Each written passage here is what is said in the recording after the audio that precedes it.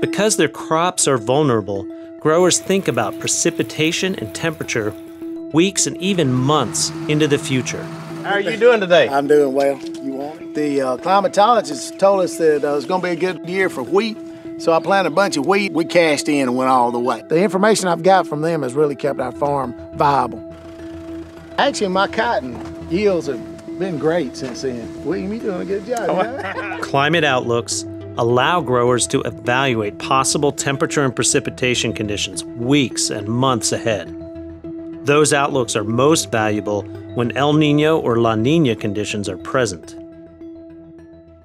The El Nino and La Nina are new terms for me, still trying to learn them. Sometimes get confused which is which. You know, we know they're there, we know they're, they're facts, no doubt about it. What we're trying to figure out is how exactly they're going to influence the weather and how that will influence us.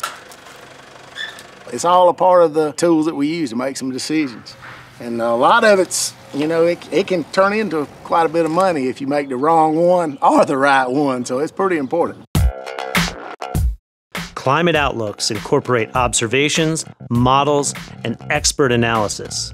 These data and tools can help growers become resilient to climate variability.